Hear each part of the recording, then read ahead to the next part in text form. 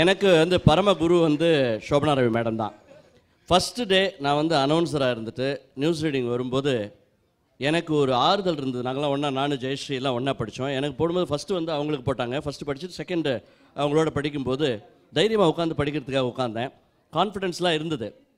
ஆனாலும் ஒரு தயக்கம் இருந்தது. ஏன்னா ப்ரோக்ராம் அனௌன்சர்லேருந்து நியூஸ் ரீடர் ஆயிருக்குமே அப்படின்னு. நான் வந்து உட்காந்துட்டு படித்து பார்த்துடலாம்னு அவங்க சொன்னாங்க. அந்த என்கரேஜ்மெண்ட் வந்து இன்னும் என்னோட காதில் ஒழிச்சிட்ருக்கு ஸ்ரீதர் நீங்கள் அனௌன்ஸ்மெண்ட்டில் சக்ஸஸ்ஃபுல் அனௌன்சர் அதானே?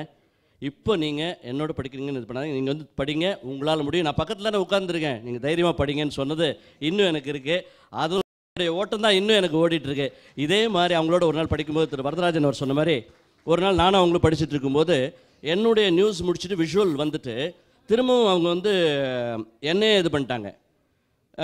கேமராவில் பண்ண உடனே நான் இதே டெக்னிக்கை தான் ஃபாலோ பண்ணேன். ஏன்னா அவங்க தான் எல்லாம் கற்றுக் கொடுத்தாங்க.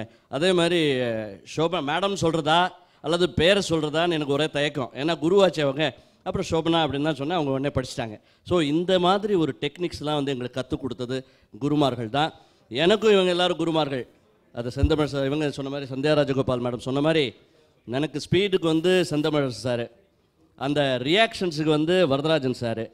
Modulation intonation and எல்லாத்துக்கும் காரணம் சோபனா ரவி மேடம் அண்ட் நியூஸை வந்து எப்படி ஸ்டைலிஷாக படித்து எப்படி எக்ஸ்பிரஷன்ஸை கொடுத்து நியூஸை நியூஸாக படித்து எல்லாரையும் கேட்க வச்சு அசத்தணும் அப்படின்னு சொல்லி கொடுத்தது மிஸ்ஸஸ் சந்தியா ராஜகோபால் அவங்க. இத்தனை பேருக்கும் இந்த நேரத்தில் நான் நன்றி சொல்கிறதுக்கு நான் கடமைப்பட்டிருக்கேன். ஏன்னா அவங்களில் ஒருத்தனா என்னையும் சேர்த்துட்டு எனக்கு இந்த அளவுக்கு ஒரு ஊக்கத்தை கொடுத்து நீங்களும் அவங்கள பார்க்குற போது ரொம்ப சந்தோஷமாக இருக்குது எனக்கு. அதாவது ஒரு பத்து வயசு எனக்கு குறைஞ்சிச்சு. என்ன? அப்படின்னா உங்களுக்கு இன்னும் பத்து வயசு குறைஞ்சிருக்கும். அதனால் ஆமாம் எனக்கு பதினாறு அப்போ பத்து தானே? அது ஆறு வயசா? நீங்கள் டுவெண்ட்டி டூவா அப்போ நான் பதினஞ்சு தான். ஓகே ஸோ ரொம்ப நன்றி உங்களெல்லாம் மீட் பண்ணதுக்கு.